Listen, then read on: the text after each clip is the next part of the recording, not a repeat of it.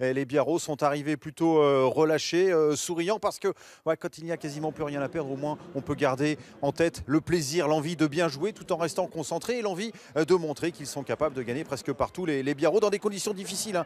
Beaucoup de glissades, il avait plu juste avant le début du match, beaucoup d'en avant, mais des hommes au pied plutôt à l'aise, à l'image de James Hook, c'est lui qui ouvre la marque après trois minutes de jeu en faveur de Perpignan. Dans une ambiance un petit peu feutrée, hein. on sent les, les Catalans entendus, le public l'était également, et puis les Catalans, depuis le début de la saison, euh, ne sont pas toujours très réalistes, et surtout ils ont tendance à être un petit peu naïfs à l'image de cette percée d'Alet Brood au sein de la défense euh, catalane qui vient permettre à Biarritz de marquer le premier essai du match après 10 minutes. Il y a un très très beau travail de Lesgourg, la passe intérieure pour Alet Brou qui vient marquer cet essai. Et voici Biarritz devant Perpignan. Euh, le scénario catastrophe pour les Catalans à l'image de leur entraîneur Patrick Arletaz.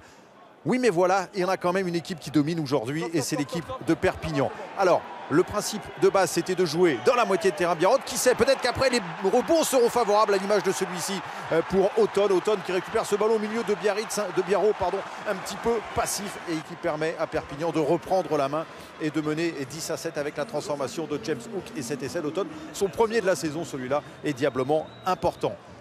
Perpignan domine, Perpignan se montre le plus costaud, mais en même temps ça gasse un petit peu à l'image, regardez, euh, de Gentil qui est à deux doigts, qui arme, mais non, qui ne va pas aller plus loin, il y aura quand même une faute, une pénalité contre les Catalans, et à la sirène, et c'est Julien Perrelong, titulaire aujourd'hui à l'ouverture, qui permet à son équipe de revenir à 10 partout à la mi-temps, dans une journée placée sous le signe de la catalanéité. Alors, les Catalans, on va les retrouver à l'entame de la seconde période, toujours avec les mêmes intentions, jouer dans le camp de Biarritz et obtenir des pénalités, obtenir des points. C'est ce que fait James Hook, qui après 61 minutes de jeu permet à son équipe de mener 13 à 10. Vous voyez, rien d'exubérant hein, parmi les, supporters catalans parce que ce match est tendu, il y a du stress pour tout le monde, à l'image des entraîneurs euh, catalans, à l'image du jeu, avec encore une fois beaucoup euh, de ballons rendus, mais des euh, Catalans qui n'arrivent pas toujours à casser la défense de, de Biarritz, alors qu'ils tentent peut-être un petit peu plus loin au pied avec ce drop de James Hook. Il y a la distance, mais il n'y a pas la précision. On en reste à 13 à 10 avec James Hook et ça passe, vous allez voir, tout à côté du poteau. Oui, mais voilà, ça ne passe toujours pas. Ils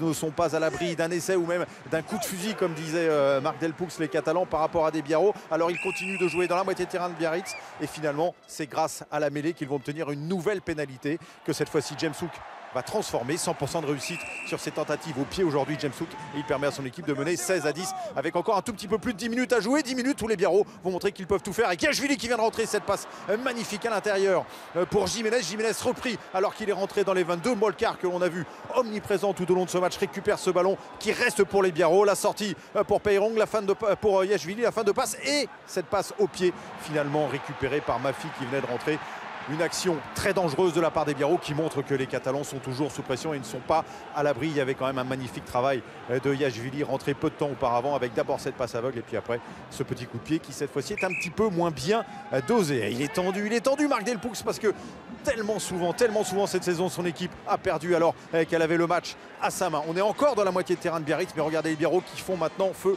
de tout bois, qui tentent tout avec ce ballon récupéré par Petersen qui peut croiser avec Guignan. On est revenu dans la moitié de terrain de Perpignan et ce ballon encore dans les mains des Biarros qui vont aller très très loin, peut-être encore une fois dans les 22, mais cette fois-ci le ballon sera arraché par la défense catalane. C'était la dernière munition Biarrot. Ils ne pourront pas revenir les Biarros et Perpignan s'impose 16 à 10 avec du soulagement, que du soulagement pour les Catalans. Marc Delpous avait dit il nous faut 14 points pour être maintenus. Ils en ont déjà gagné 4 ce soir.